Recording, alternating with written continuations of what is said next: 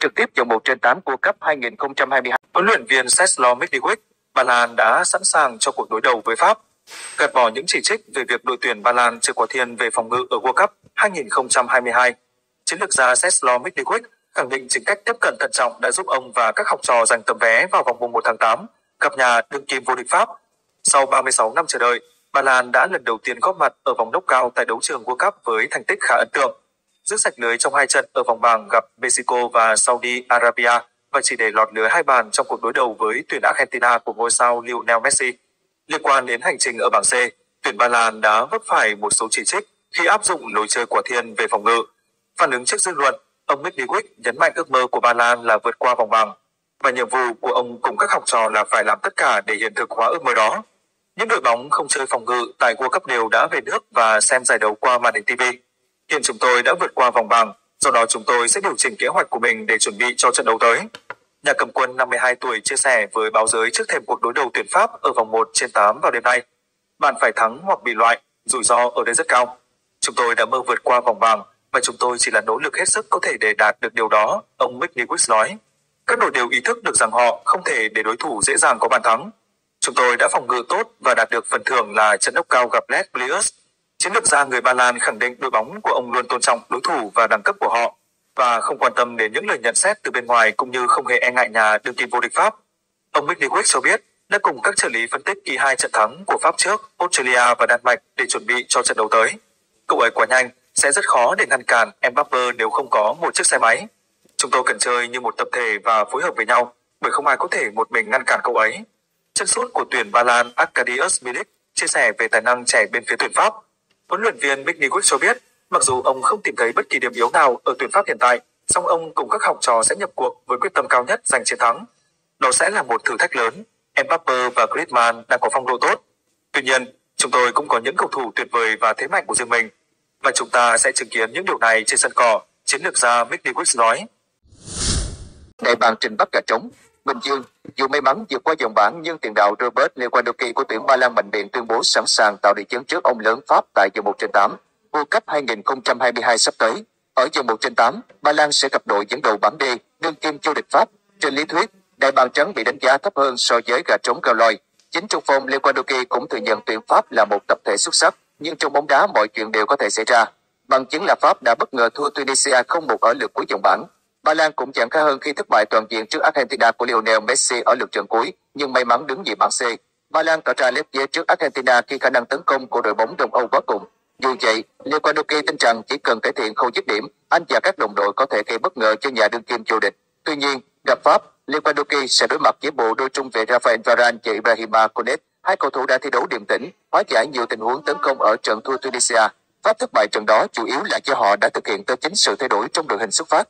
Huấn luyện viên Didier Deschamps cho phần lớn các trụ cột nghỉ ngơi bởi đội bóng của ông đã giành vé vào vòng 1 tháng 8, sớm một lượt đấu. Xét về lực lượng, người Pháp càng có lý do để tự tin đánh bại Ba Lan khi các ngôi sao của họ trở lại. Từ đầu giải, tiền vệ Adrian Rabiot thay thế rất tốt vai trò của Bon Boba, trong khi ngồi độ Kylian Mbappe vẫn rất nguy hiểm như thường lệ. Dù được xếp đá lệch trái, Mbappe thi đấu như một trung phong. Đội tuyển Pháp hiện nay có chiếc hào hoa của Leplius thời Michel Platini, nhưng thi đấu thực dụng hơn nhiều. Nhưng nếu không cẩn thận, Pháp có thể phải trả giá bởi đây là trận đấu loại trực tiếp. Tất hai đội hòa nhau sau 90 phút thi đấu chính thức sẽ đá hiệp phụ trôi loạt luân lưu 11 mét. Những đội bóng dưới cơ như Ba Lan có thể chơi theo phong cách tự thủ để cuối cùng kéo Pháp vào loạt đấu súng, vốn trông cậy rất nhiều vào các thủ môn. Cường nhắc rằng đứng trong khung thành Ba Lan hiện nay là Kusicepi, người đã khám phá thành công pha sút penalty của Messi ở vòng bảng. Ở kỳ World Cup lần này, Ba Lan lại là đội bóng tiêu biểu cho lối chơi thực dụng. Gặp nhau ở vòng bảng, tuyển Mexico kiểm soát bóng 61%, tung ra 11 cú sút và suýt thua đoàn quân của huấn luyện viên Ceslo Mitrovic. Tệ hơn, Saudi Arabia kiểm soát bóng 64%, 16 lần bắn phá cung thành để rồi thua Ba Lan 0-2.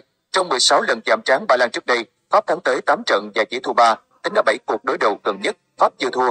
Trong khi đó, thắng lợi gần đây nhất của Ba Lan trước Pháp đã diễn ra từ năm 1982. Từ năm 1998 đến nay, Pháp đã hai lần vô địch World Cup và một lần Á quân năm 2006. Về phần mình, Ba Lan từng giành hai huy chương đồng cua cấp năm 1974 và 1982. Giai đoạn 1990 đến 2018, họ ba lần dự cua cấp nhưng đều bị loại ở vòng bảng. Trận Pháp, Ba Lan diễn ra lúc 22 giờ ngày 4 12. Đội thắng trận này sẽ chờ kết quả cặp đấu Anh và Senegal khởi tranh lúc 2 giờ sáng ngày 5 tháng 12 để biết đối thủ tiếp theo ở tứ kết. Pháp vs Ba Lan, vương quốc của hoàng tử bé Griezmann. Trên hành trình bảo vệ danh hiệu vô địch World Cup, Pháp gặp thử thách Ba Lan và Griezmann giữ vai trò chìa khóa để tạo khác biệt. Pháp bước vào trận gặp Ba Lan ở vòng 1 trên 8 World Cup 2022. 22 giờ ngày 4 tháng 12 với tư cách là đội được đánh giá cao hơn bất chấp thất bại trong trận đấu cuối vòng bảng trước Tunisia. Trận ấy, Didier Deschamps cất nhiều trụ cột trên ghế dự bị, bao gồm chìa khóa để bảo vệ danh hiệu vô địch thế giới.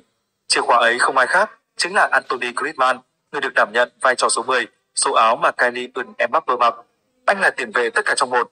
Không có Karim Benzema, mối liên hệ giữa các tuyến giờ đây hoàn toàn gắn với Griezmann, người đến Qatar sau những tháng khó khăn ở Atletico. Đến mức câu lạc bộ thủ đô Madrid ép Barcelona để giảm giá mua đất giá trị của anh. Chumeni là một trụ cột ở khu trung tuyến đội tuyển Pháp. Adri Rabiot, người hồi sinh ngoạn mục tại Juventus, cũng đóng góp rất quan trọng. Nhưng trên tất cả là vai trò của Griezmann.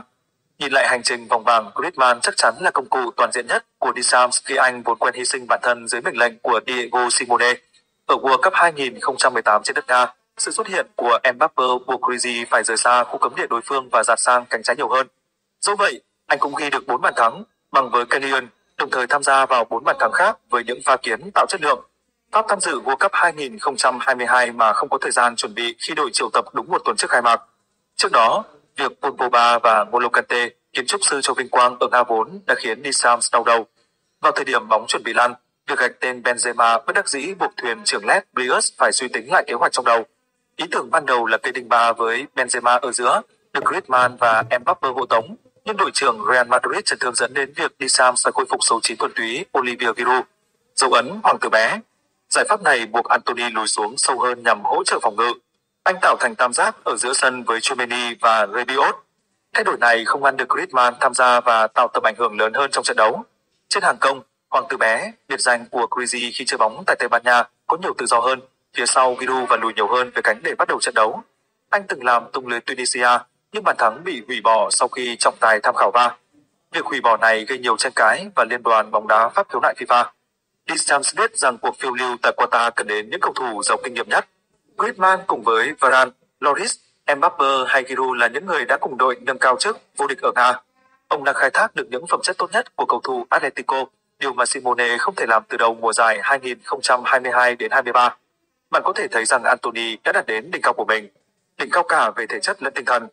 Cậu ấy luôn có ảnh hưởng lớn nhờ phẩm chất và khối lượng thi đấu cao, cho phép bản thân có mặt cả trong tấn công và phòng ngự. Đi sang xài lòng khi có được nhân tố làm thay đổi đội hình, che đi khoảng trống mà Pogba và Kante để lại. Một số người có thể nói rằng Griezmann phải hy sinh, nhưng tôi cần nói lại cho rõ, cậu ấy thích cả việc cướp bóng và thu hồi bóng cũng như thực hiện một đường chuyển tấn công. Đội trưởng đội tuyển Pháp vô địch World Cup 1998 nhấn mạnh, chỉ thông minh trong trận đấu cho phép Anthony giữ thăng bằng tốt, đi Sam xen ngời. Griezmann cũng thừa nhận rằng anh cảm thấy thoải mái ở vị trí mới. Tôi đã hoàn thành tốt công việc ở Atletico với chuyên gia Ortega, Oscar Ortega, huấn luyện viên thể lực của Atletico hiện nay. Ông ấy đã giúp tôi đạt thể trạng tốt. Tôi có vui vẻ ở vị trí mới này không? Tôi thích nó. Griezmann hạnh phúc với đội bóng của mình và muốn làm nên lịch sử. Hiện tại, anh có 77 trận đấu liên tiếp cho Les Bleus, nghĩa là chưa bỏ lỡ trận nào kể từ tháng 3 năm 2017.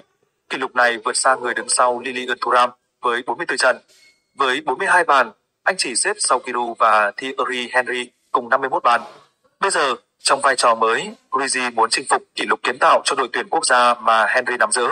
Khoảng cách chỉ là hai đường truyền thành bàn, 25 so với 27. Nhận định Pháp Joseph Ba Lan, nhà vô địch Dương Oai, may mắn lách qua khe cửa hẹp vào vòng mùng 1 tháng 8 World Cup. Ba Lan giờ nghe phải ngọn núi cao Pháp với Mbappé đang chơi cực hay. Pháp bước qua vòng bảng nhẹ nhàng với hai chiến thắng thuyết phục trước Australia và Đan Mạch nhờ sự tỏa sáng của Giroud cùng Mbappé. Lượt đấu cuối cùng, huấn luyện viên Deschamps toan tính giữ sức các trụ cột nên thất bại trước Tunisia không ảnh hưởng quá nhiều đến tinh thần toàn đội. Leplius cũng phá được cái giúp nhà vô địch bị loại ngay từ vòng bảng ở kỳ World Cup kế tiếp, bất chấp những khó khăn về lực lượng, cầu thủ thi nhau chấn thương trời giải. Đến lúc này, Deschamps đã xử lý tốt các vấn đề của tuyển Pháp, chẳng cần quá ồn ào. Họ tiến vào vòng 1 tháng 8 với sự tự tin, đỉnh đạt và nhiều bài dở chưa bung ra hết. Trái với con đường thênh thang mà đối thủ vừa đi, Ba Lan phải đổ mồ hôi đến những giây cuối cùng. Có thời điểm, đại bàng trắng đi tiếp chỉ nhờ lợi thế điểm về play, nhưng ít thể hơn Mexico. Cuối cùng, đoàn quân huấn luyện viên Mitchell cũng có giá, nhưng bị xem là không thuyết phục. Điều này được phơi bày qua ba màn trình diễn thất vọng của Ba Lan tại vòng bảng. Trận trao quân hòa tẻ nhạt với Mexico, Ba Lan không có cơ hội nào đáng kể ngoại trừ tình huống phạt đền ở hiệp 2. Tiếp đó là chiến thắng Saudi Arabia bất chấp thi đấu lép vế trước đại diện Tây Á. Đến cuộc chạm trán Argentina, Ba Lan hoàn toàn chịu trận và may mắn chỉ nhận hai bàn thua. Kết quả chưa đủ để họ bước tiếp nhưng lối chơi thì đơn điệu và thiếu đột biến. Medibus yêu cầu học trò liên tục chuyển bóng dài lên cho Lewandowski, hiếm khi luân chuyển qua hàng tiền vệ. Phong cách đó dẫn khiến tuyến phòng ngự Ba Lan thường xuyên đối diện nguy hiểm. Dựa vào những gì Ba Lan thể hiện cho đến lúc này, Pháp không có nhiều điều phải e ngại. Nhà đương kim vô địch World Cup chỉ cần chơi đúng khả năng, chiến thắng ắt sẽ đến. Dự đoán tỷ số, Pháp thắng hay không? Thông tin bên lề, đây là cuộc chạm trán thứ hai giữa hai đội ở World Cup. Năm 1982, Ba Lan từng thắng Pháp với tỷ số 3-2. Pháp bất bại trong 7 lần chạm trán Ba Lan gần nhất trên tất cả các mặt trận tháng 3 qua 4 trận. Đây là lần đầu tiên Ba Lan lọt vào vòng đấu loại trực tiếp World Cup sau Mexico 1986, khi đó họ phơi áo công bố trước Brazil. Đội hình dự kiến, Pháp, Loris Caudi, Varane, Upamecano, Camavinga, Chumeni, Rebiot, Dember, Griezmann, Mbappe, Giroud, Ba Lan, Sedni, Kasplis, Kiwayer, Beresiki, Frankowski, Bilic, Brichowicz, Zielinski, Swiderski, Lewandowski. Mbappe đụng độ nảy lửa Lewandowski. Kylian Mbappe, chân sút trẻ đã dẫn dắt tuyển Pháp bước vào cuộc chạm trán ở vòng 1 trên 8. World Cup 2022 vào lúc 22 giờ ngày 4 12 với đội tuyển Ba Lan, những người hy vọng thoát khỏi nỗi buồn sẽ phụ thuộc phần lớn vào Robert Lewandowski. Chân sút người Pháp Mbappe mới 24 tuổi cho đến cuối tháng này, có thể chưa ở đỉnh cao phong độ nhưng anh đã ghi được 7 bàn thắng sau 10 lần ra sân tại World Cup. Còn sau đó bao gồm một bàn thắng trong trận chung kết năm 2018 khi anh vẫn còn là một thiếu niên, giúp Pháp đánh bại Croatia ở Moscow. Nhiệm vụ của Mbappe bây giờ là giúp đất nước của anh trở thành quốc gia đầu tiên giữ lại World Cup kể từ khi Brazil, với một Pele thậm chí còn trẻ hơn. Đã làm được điều đó vào năm 1962, Mbappe đã ghi 3 bàn ở Qatar, trong đó có một cú đúp trong chiến thắng 2-1 trước Đan Mạch để giành quyền vào vòng 16 đội. Là người ta tin rằng anh đang phát triển mạnh với tư cách là ngôi sao không thể tranh cãi trong đội bóng của huấn luyện viên Didier Deschamps. Tình hình của Mbappe ở tuyển quốc gia khác với tại Paris Saint-Germain nếu anh phải chia sẻ sự trực trở của ánh đèn sân khấu với Lionel Messi và Neymar. Cái liền Mbappe không có cái tôi, Deschamps khẳng định cách đây ít ngày, đi ngược lại nhận định về Mbappe trong bối cảnh PSG. Cậu ấy là một cầu thủ quyết định của tuyển Pháp và màn trình diễn của Mbappe khiến mình trở thành tâm điểm chú ý. Mbappe không còn 18 tuổi nữa, vì bây giờ cậu ấy đã có kinh nghiệm. Không có Mbappe chơi từ đầu trận, người hiện có nhiều bàn thắng quốc tế cho tuyển quốc gia như Zinedine Zidane, tuyển Pháp đã thua đội chiếu dưới Tunisia 0-1. Dù một kết quả không ngăn họ đứng đầu bảng, Mbappe sẽ trở lại cùng với thủ thành Hugo, Loris Anthony Griezmann và Olivier Giroud khi Pháp và Ba Lan gặp nhau tại một giải đấu lớn lần đầu tiên kể từ World Cup 1982. Kylian Mbappe không còn là cầu thủ hay con người như năm 2018, Griezmann ở trước cuộc đụng độ. Khi được hỏi về vai trò của Mbappe trong đội hình do chấn thương của một số cầu thủ chủ chốt trước giải đấu, bây giờ cậu ấy đang là một phần lớn của đội. Mbappe nói rất nhiều và vui vẻ. Cậu ấy biết rằng giới truyền thông, người hâm mộ và thậm chí cả đồng đội của mình sẽ theo dõi mọi thứ Mbappe làm. Cậu ấy không có gì đáng chê trách, Griezmann chia sẻ với AFP. Pháp rõ ràng là ứng cử viên sáng giá cho trận đấu với Ba Lan, nhưng vẫn còn ký ức về những gì đã xảy ra ở vòng 16 đội tại giải vô địch châu Âu năm ngoái. Khi Mbappe xuất hỏng quả phạt đền quan trọng trong trận thua Thụy Sĩ trên chấm luân lưu. Trong khi đó, Ba Lan chỉ vượt qua bảng của họ trước Mexico nhờ hiệu số bàn thắng bại về ấn tượng về pha lập công của Lewandowski. Bàn thắng đầu tiên của anh tại World Cup trong trận thắng Saudi Arabia. Tôi biết đây có thể là kỳ World Cup cuối cùng của mình và tôi muốn có thể nói rằng tôi đã chơi cùng khao khát ghi bàn tại các kỳ cúp thế giới. Lewandowski nói sau trận đấu đó. Cầu thủ 34 tuổi này cũng đã có 9 bàn thắng ở vòng loại và không có ai khác cùng đẳng cấp với anh trong đội hình của huấn luyện viên Ceslo Metiquis. Hậu vệ Sergap Kiwayer cho biết, chúng tôi rất vui chỉ đặt mục tiêu vượt qua dòng bảng. Nhìn thấy Mbappe và Lewandowski cùng nhau trên sân là một điều hiếm có. Hai trong số những tiền đạo ghi nhiều bàn thắng nhất trong bóng đá hiện đại. Tuy nhiên, họ là những kiểu tiền đạo khác nhau. Một người có tốc độ bùng nổ khi đi vào vòng cấm từ những khu vực rộng, và người còn lại dứt điểm nhạy bén trong vòng cấm. Đang ở giai đoạn cuối của sự nghiệp, Lewandowski đã chờ Bayern Munich để đến Barcelona trong mùa giải gần nhất, nhưng theo các thông tin ở Pháp, anh có thể đã kết thúc sự nghiệp ở PSG. Liberation đưa tin rằng PSG đã cố gắng thuyết phục Lewandowski gia nhập họ sau khi ràng buộc Mbappe vào một hợp đồng mới vào tháng 5, việc PSG không ký hợp đồng với Lewandowski, hoặc một số chính đẳng cấp khác, được cho là một trong những lý do khiến Mbappe rất không hài lòng ở câu lạc bộ chỉ vài tháng trước. Một lão tướng là đầu tàu của Ba Lan đang rất tập trung cho trận đấu một mức một còn ở World Cup. Với chân sút Lewandowski có đủ sức cản đường thăng tiến của Mbappe trẻ trung hay không sẽ rất thú vị.